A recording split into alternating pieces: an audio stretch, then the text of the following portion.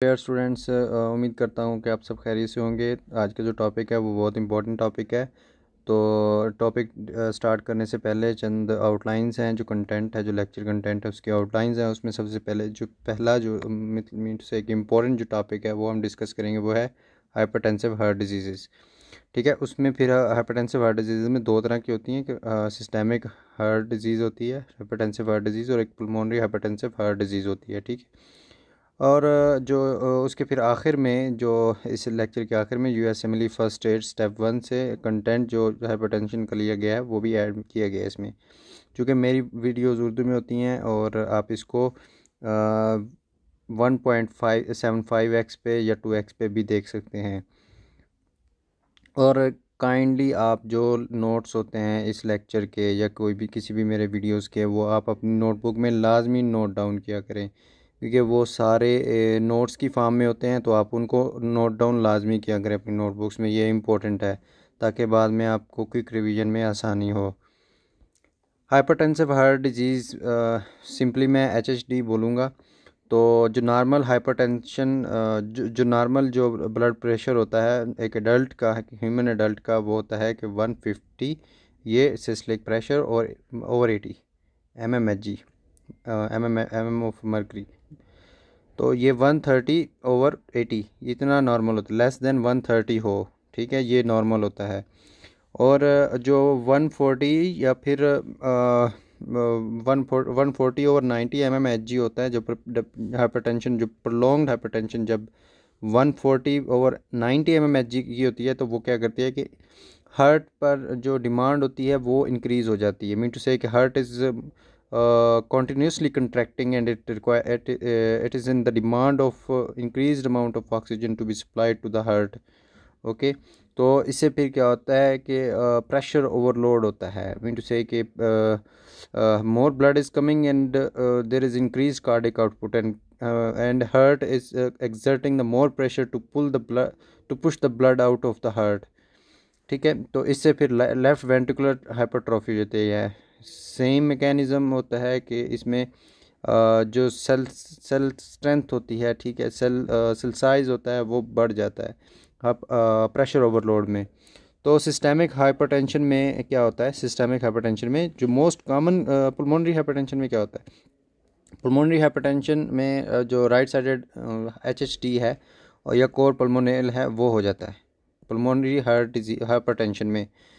तो इसका हम मैकेनिज़्म देखेंगे कि कोर पल्मोनल कैसे होता है। No just you trust me that pulmonary hypertension if it's uh, isolated right sided uh, hypertensive heart disease it may lead to the pulmonale okay the most common cause जो होता है ना core पल core pulmonale का जो primary hypertension का वो क्या वो लेफ़्ट साइडेड हार्ट फेलियर होता है।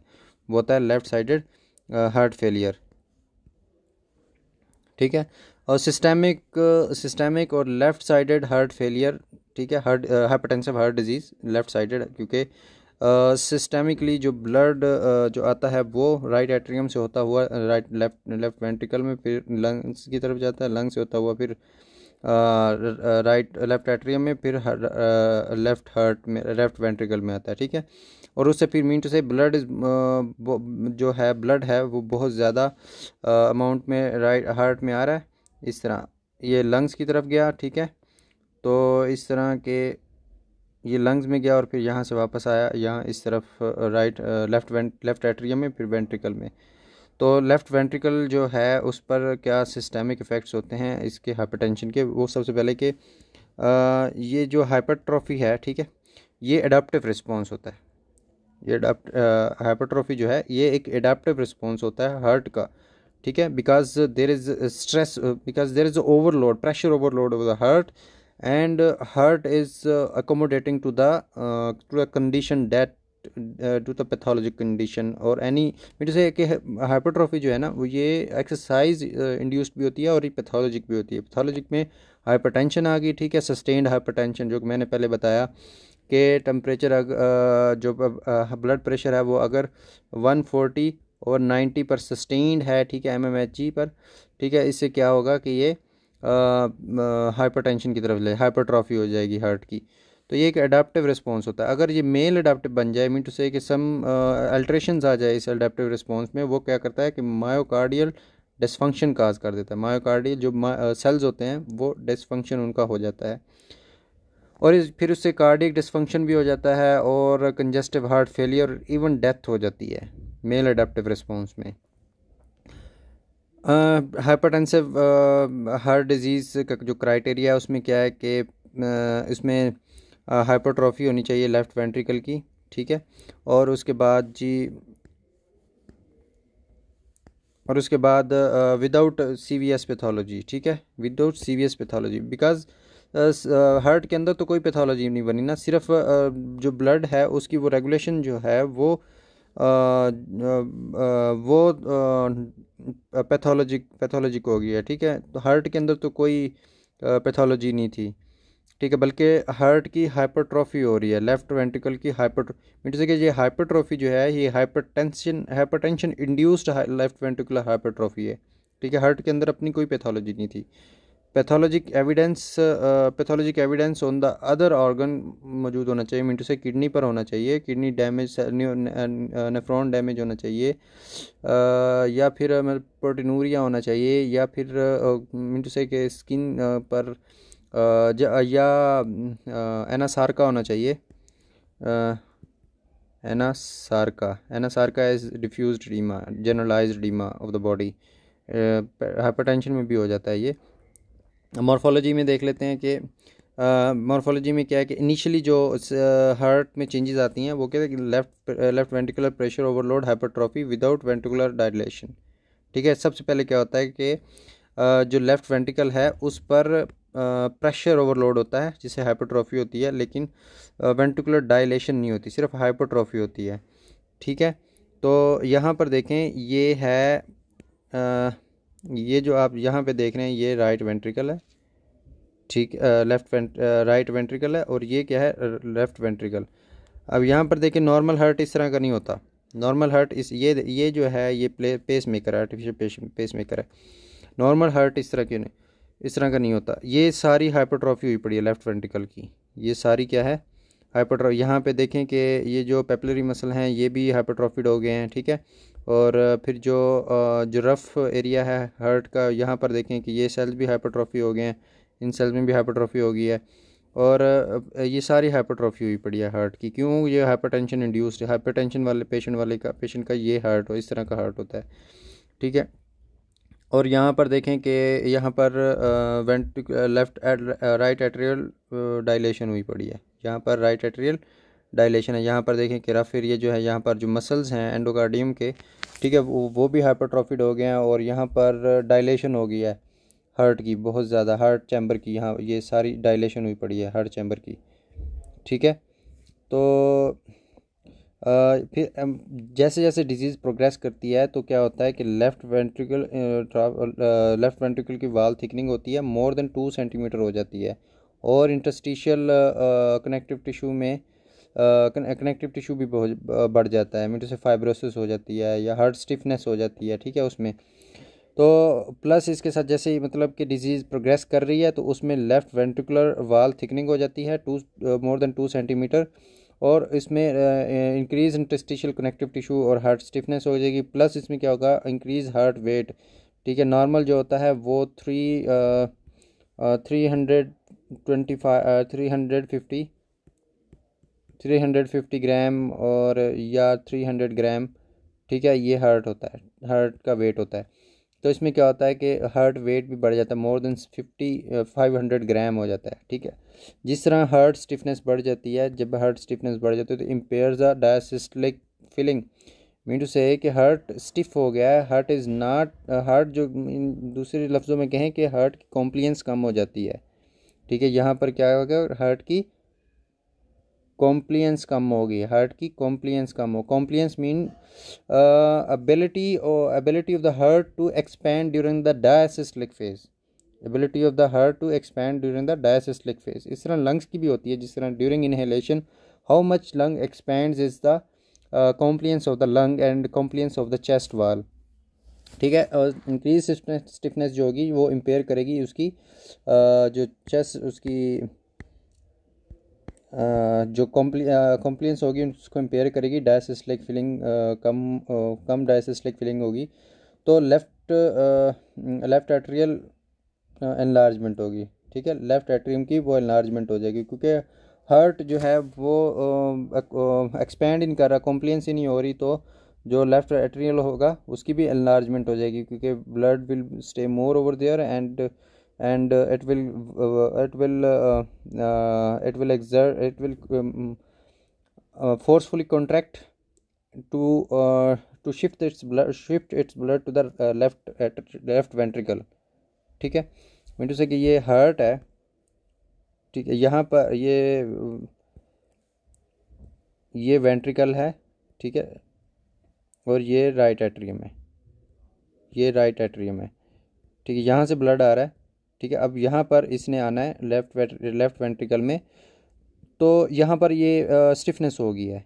यहाँ पर ये फिलिंग नहीं हो रही ठीक है? लेफ़्ट वेंट्रिकुलर हाइपरट्रॉफी हुई है और यहाँ पर आ, क्या हो गया फिलिंग नहीं हो रही स्टिफनेस हो गई है। मीन टू से कि ये एक्सपेंड नहीं कर रहा है लेफ़्ट लेफ़्ट वेंट्रिकल ठीक है? एक्सपेंड नहीं कर रहा ताकि एक्सपेंड करे और इसमें मोर ब्लड यहाँ से आए राइट एट्रियम से आए।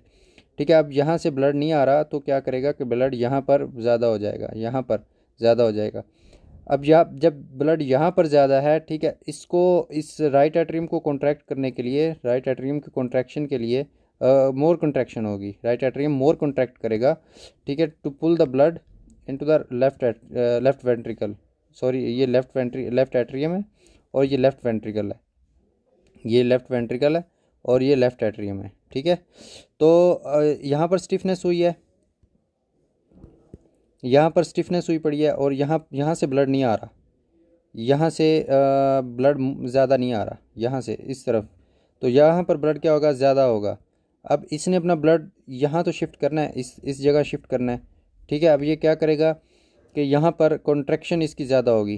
कॉन्ट्रैक्शन ज़्यादा होगी यहाँ पर, इसकी कॉन्ट्रैक्शन ज़्यादा होगी लेफ़्ट एट्रियम की। तो जैसे ही मतलब कॉन्ट्रैक्शन करेगा तो एक वर्क लोड इंक्रीज़ होगा ना। तो वर्कलोड बढ़ेगा तो इससे मसल इन्वॉल्वमेंट होगी मायोसाइट की इन्वॉलमेंट होगी जिससे क्या होगा कि left atrium left atrial enlargement हो जाएगी जिससे क्या होगा कि लेफ़्ट एट्रियल एनलार्जमेंट हो जाएगी इससे। तो उसके बाद आ, आ, जो अर्लीस्ट स्टेज होता है एच एच एच डी का उसमें क्या होता है कि जो मायोसाइट होता है ये मायोसाइट है ये कंप्लीट मायोसाइट है ठीक है? तो इसमें क्या हुआ कि इसका डायमीटर बढ़ गया। ये सेल भी न्यूक्लियस की भी हाइपरट्रॉफी होगी, ये न्यूक्लियस है। ठीक है? ये सेल है मायोसाइट है। ठीक है? अब इनकी जो है, ये हाइपरट्रॉफी होगी। इनकी हाइपरट्रॉफी हुई और यहाँ इसका जो डायमीटर था, वो बढ़ गया। इसका जो डायमीटर था, वो बढ़ गया। अच्छा जैसे ही डिज़ीज़ प्रोग्रेस करती है एडवांस स्टेज हो जाता है, उसमें क्या होता है कि cellular and nuclear enlargement occurs, plus interstitial fibrosis occurs. Plus interstitial fibrosis ठीक है, ये आपने मेन पॉइंट याद रखना है, ठीक है? न्यूक्लियर एनलार्जमेंट और ये सेलर ये तो होती हैं, लेकिन इंटस्टिशियल फाइब्रोसिस भी हो जाती है उसमें इंटस्टिशियल फाइब्रोसिस भी हो जाती है। जो compensated systemic hypertensive heart disease होती हैं, उसमें क्या होता है कि वो ए सिम्टोमेटिक होती हैं। वो सारी ए क्योंकि हार्ट कंपनसेट कर रहा है उस सिस्टेमिक हार्ट डिज़ीज़ के साथ। तो जैसे ही फिर वो क्या होता है कि फिर लेफ़्ट एट्रियल इन्लार्जमेंट और प्रोग्रेसिव जो कंजेस्टिव हार्ट फेलियर हो रहा होता है, ठीक है?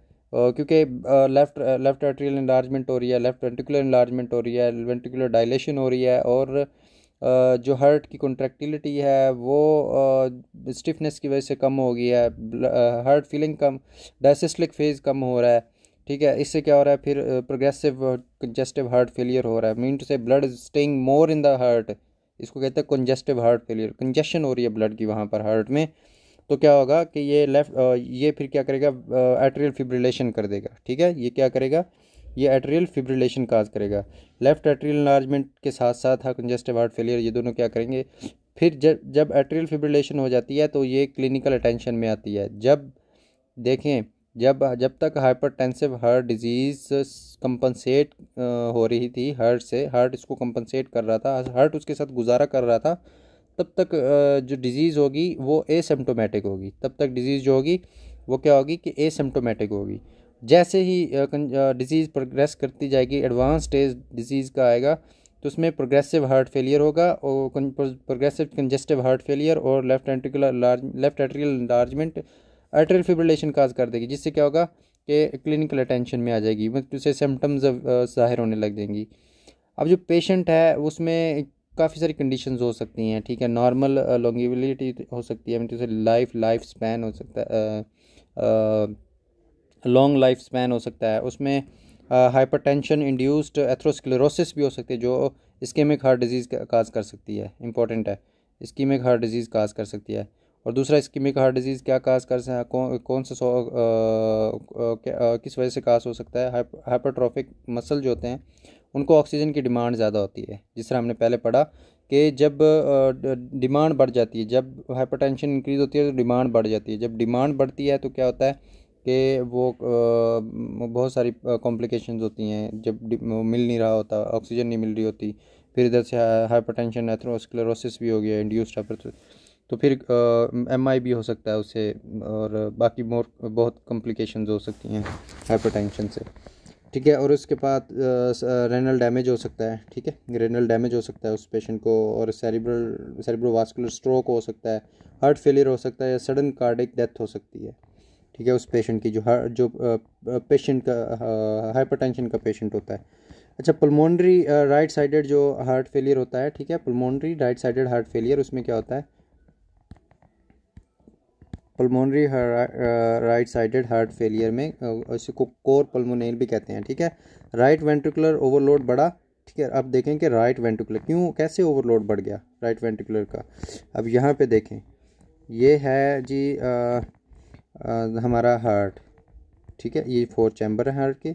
और ये ऐसे देख लें कि ये है, ये क्या है? लंग ये क्या है? लंग और ये इसका ब्रोंक्यूल्स इसका ब्रोंक या इस तरह, ठीक है? ये ये है इसके लंग्स अब क्या हुआ कि यहाँ पर हाइपरटेंशन बढ़ गई। पल्मोनरी बा पल्मोनरी की बात कर रहे हैं तो राइट वेंटिकुलर ओवरलोड बढ़ गया। क्यों बढ़ गया राइट वेंटिकुलर क्योंकि यहाँ पर हाइपरटेंशन हो गई है blood staying more in the in the uh, in the capillaries and in the uh, vasculature of the lung ठीक है? तो यहाँ से ये है राइट uh, वेंट्रिकल ये क्या है? राइट वेंट्रिकल अब यहाँ से क्या करना था? यहाँ से ब्लड नहीं जाना था लंग्स uh, की तरफ़ जाना था ठीक है? यहाँ से इस तरह देखने की यहाँ से क्या करना था? लंग की तरफ़ जाना था ब्लड ने। तो ये ब्लड जा रहा है। अब यहाँ पर आ, उसने देखा कि यहाँ पर तो हाइपरटेंशन पहले ही है पहले ही वहाँ पर ब्लड स्टे ज़्यादा किया हुआ ब्लड ने। तो यहाँ से मज़ीद ब्लड ऊपर की तरफ़ लंग्स की तरफ़ नहीं जाएगा ठीक है? वो ब्लड यहाँ से यहाँ इस तरफ़ नहीं आएगा। तो ब्लड यहाँ पर ज़्यादा स्टे करेगा ठीक है? राइट वेंटिकुलर ओवरलोड बढ़ गया यहाँ पर ज़्यादा ब्लड स्टे करेगा ज़्यादा ब्लड स्टे करेगा यहाँ पर ज़्यादा ब्लड स्टे करेगा। तो क्या हो गया? राइट वेंटिकुलर ओवरलोड बढ़ गया राइट वेंटिकुलर ओवरलोड और फिर इससे क्या हुआ कि यहाँ पर राइट वेंटिकुलर ओवरलोड बढ़ जाने की वजह से आ, isolated isolated pulmonary hypertensive heart disease हो जाती है, जिससे कोर पल्मोनेल हो गया। ठीक है? मीन टू से कि यहाँ पर लेफ़्ट वेंट्रिकल जो है राइट वेंट्रिकल जो है, इसमें ओवरलोड बढ़ गया। ये कंट्रैक्ट ही नहीं कर रहा।